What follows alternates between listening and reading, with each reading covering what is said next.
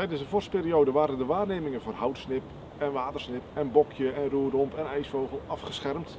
Dus je kon niet zien waar er waarnemingen van deze soorten waren- werden gedaan. En dat is wel goed ook, want eh, we zouden die soorten veel te veel verjagen en verstoren, terwijl ze juist hun rust nodig hebben om voedsel te zoeken.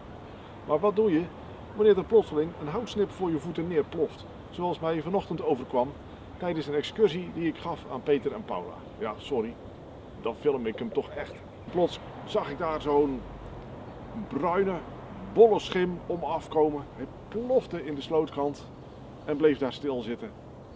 En ik had een prachtig zicht op hem en kon hem filmen. En kijk eens hoe hij zijn veren uitzet om zich te isoleren tegen de kou, want vanochtend was het nog bitter koud.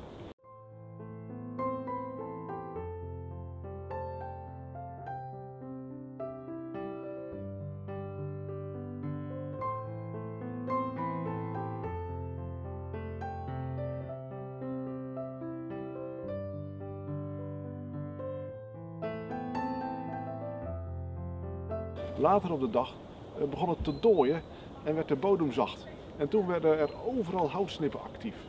Ik zag er ook eentje echt fourageren in het moeras. Hij kon weer met zijn snavel heerlijk de bodem in en lekker peuren naar voedsel.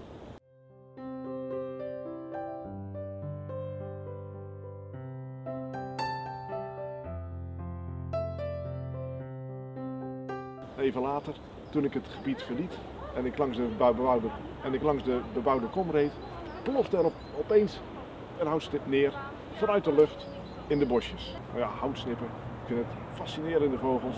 Zeker wanneer het heeft gesneeuwd, steken ze heel mooi af. Je moet eens goed kijken naar die tekening van de veren. Echt een prachtig stukje natuur.